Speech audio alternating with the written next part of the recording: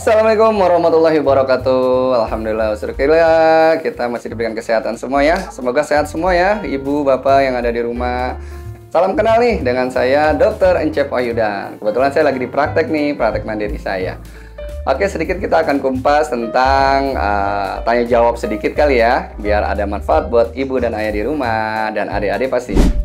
Dok, apa yang harus dilakukan orang tua saat mendampingi anaknya disunat? Oh, pertanyaan yang bagus nih.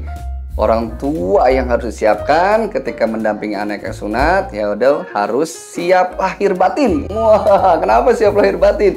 Satu, mentalnya harus siap menyunatkan anaknya karena yakin nggak ada yang bisa rela diam aja anaknya disunat segitu segitu ikhlas. Pasti kita takut, ada rasa cemas, itu udah pasti.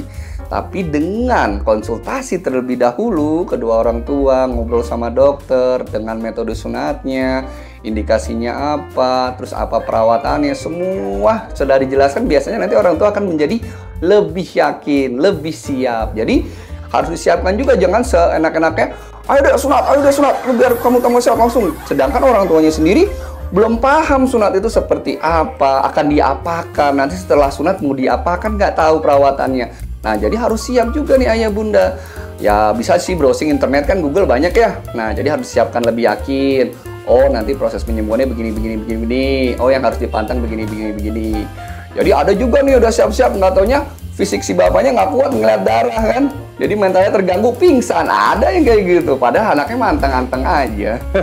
ya jadi pastinya kedua orang tua harus mempersiapkan lebih siap daripada anak pastinya.